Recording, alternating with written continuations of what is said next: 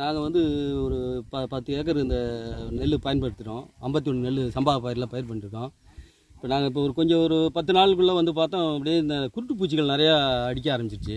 சரி என்ன பண்ணுறது அப்படிங்கிறதுக்காக சரி மருந்து கடையில் வாங்க போனால் அவர் எங்கள் ட்ரோன் இருக்குன்னாரு. சரி நாங்கள் ட்ரோனில் அடித்தா சீக்கிரம் அடிச்சிடலாம். ரெண்டாவது நல்லா கட்டுப்படுத்தணும்னு சொன்னார். சரி அதனால் ட்ரோனில் அடிப்போம். இதே ஆள் கூலியை கூப்பிட்டு நாங்கள் இதுக்கு மருந்து அடிக்கணும்னா மூணு நாள் ஆகிடும் ஆள் கூப்பிட்டாலும் அந்த காஸ்ட்லி தான். ஆள் கூப்பிட்டா அதை விட காஸ்ட்லி போகுது. மூணு நாள் அதிகம் ஆகுது இதில் ரெண்டு நாள் நமக்கு மிச்சம். ஒரே நாளில் மருந்து கட்டுப்படுத்துது.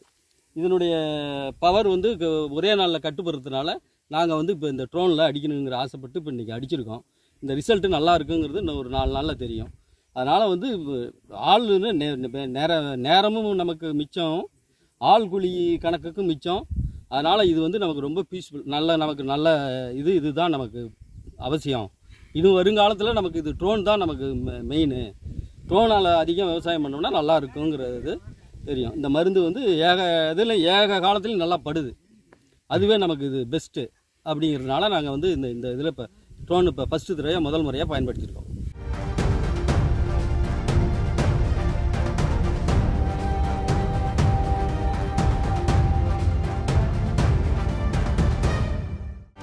செய்திகளை உடனுக்குடனும் துல்லியமாகவும் தெரிந்து கொள்ள சப்ஸ்கிரைப் பண்ணுங்க.